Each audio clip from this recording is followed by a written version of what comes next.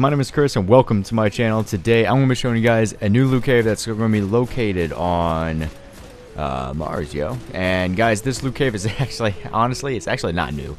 It's an older loot cave that uh, the boy Saucy J and the other boy, iRaspberry Kiwi founded. Uh, for some reason, everybody's covering it now. I don't know why. Uh, I, I covered this thing a long time ago. And I'm going to re-recover it uh, because everyone is like, you know, it's kind of like blowing up again, and a lot of people are talking about it. So I'm going to go ahead and redo it and show you guys how to do it with Hunter.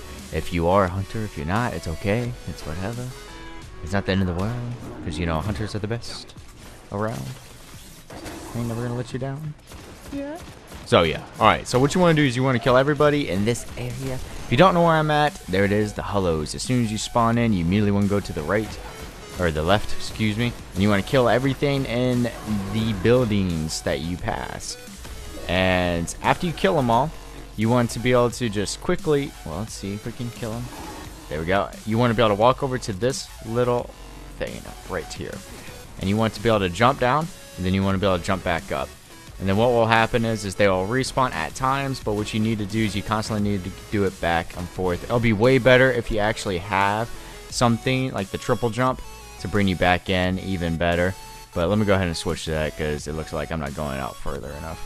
So, let's see, bam. There we go. And then what will happen is, is these guys start spawning. There'll be two of these guys, and then there'll be the other dudes. There we go. There they are. So, and then there should be one more right after him. Yeah, there's one right behind him. And then all you do is you just kill them and then you do the same thing over again. So you kind of probably want to rock the triple jump to be able to do this. But all you do is stand here on the edge, and you just jump out.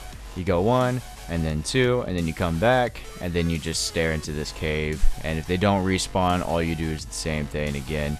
You just want to be able to just go further out, and you want to be able to just come back in. But again, if it doesn't quite work, you know, just try to go a little bit further out and then come in, and then you just Gjallarhorn it. Because Gjallarhorn for the win, always. And then you just do it again. Bam. Miss everything, it looks like. But you guys just keep doing it over and over and over. You're able to just manipulate the spawn, be able to just grind out on this shit. And you'll be able to just get an absolute absurd amount of engrams by doing this bad boy. But yo, if you guys did enjoy this video, don't forget to go to the bottom of the video, smash that like button, and yo, if you guys are new to this channel, don't forget to hit that subscribe button for your daily dose of Destiny content. Alright guys, I'll catch you later. Peace out.